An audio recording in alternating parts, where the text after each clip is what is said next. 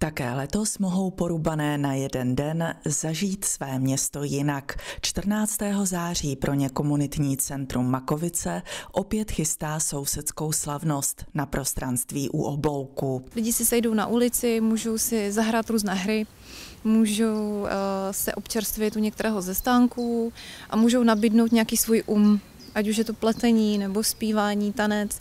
A vlastně myšlenka je hlavně taková, že se sejdou sousedé, kteří se tím obohatí a podpoří tu komunitu eh, v Porubě. Zažít město jinak je celonárodní iniciativa, která oživuje veřejný prostor už od roku 2006. Letos se k ní zatím připojilo 22 měst. V Porubě se sousedské slavnosti konají na různých místech. U oblouku budou už po třetí. Lidé si je tu oblíbili a atmosféra je po každé příjemná. Hraje se tu, zpívá, soutěží i tvoří. Tak teďka nás zaujaly tady logické hry zrovna. A jinak Máme to tady kousek, tak jsme se přišli podívat ze zdravosti, jak to tady vypadá. No mně se líbí, že něco v Ostravě vůbec tohohle druhu probíhá, nejenom teda v Ostravě, i v ostatních městech a je to fajn, protože se tady potkáváme s lidmi, které známe z poruby, je to takové setkávací místo, je to legrace. Pro televizi Fabex, co tady provádíte? Já si teďka zkouším moje nové boty, konečně mám takové, které prostě jsem si přál vždycky mít.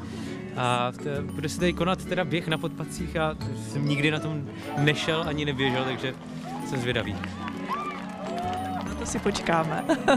Ze začátku jsem se úplně necítil ve své kůži, ale pak jsem se na to jako zvykl a rozběl jsem se, myslel jsem, že nezastavím, že poběžím ještě mnohem dál. Pořadatelé také letos vyzývají k účasti nejen jednotlivce, ale i neziskové organizace. Mohou například ostatním nabídnout své výrobky, zorganizovat soutěže nebo hry. Porubané, kteří by se rádi do příprav zapojili, mohou komunitní centrum Makovice kontaktovat na Facebooku. Tak je samozřejmě lepší, čím dřív, tím líp, ale zase záleží na tom, co lidé chtějí nabídnout, eh, jaké mají potřeby, jaké mají požadavky, pokud třeba potřebují zajistit připojení eh, nebo nějaký stánek, tak je lepší se ozvat dříve.